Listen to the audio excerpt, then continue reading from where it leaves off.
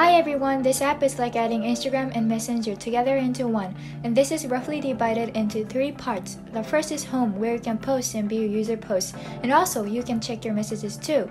The second is Chat, which displays private and open chat. The third is Search, where you can search for posts and users. Okay, let's check together what kind of specifications my app actually have. First of all, let's start with the home screen. This screen is designed to display the user's post and profile. It's basically similar to the Instagram. However, this app has one decisive difference from the so-called SNS. The secret is hidden in this magical button. Perhaps you can see this by looking at this. That's right, in, your, in our app, users don't have to go to a screen to check their favorite posts, and also you can post immediately from this button. Which means you can post your own post, check the posts of users who you are following, and check the posts you like in this one screen. Everything can be done in few seconds. For example, let's take a look at the posts of users you're following. The woman in the picture looks really fun. Maybe you know her and want to get in touch with her after a long time. In such a case, it's easy. Please touch this button. That way, you can send a message immediately. Next, let's take a look at the chat page. As I said at the beginning of the video, there are two elements on this chat page.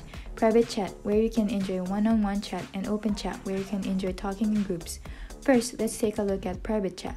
Three lists are displayed here. The first is My Chat, a list of the conversations you are currently having. The second is Follow, a list that shows the users you're following. The third is Suggested, a list that shows the rest of the users.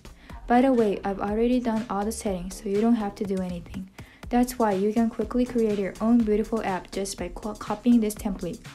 Don't worry, this is common to all pages, not just this one.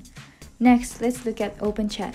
The groups shown here are just for demo purposes, so you can customize it as you like. For example, if you don't like this image of hamburger, you can quickly turn it into pizza. If you don't like a topic like movie, you can quickly switch to WWE. Let's take a look at one of the group called Girls Talk. There are a lot of open chats going on. If the users wants to create a new chat room, you can quickly create a room from here. Let's take a look at this room. It looks like this.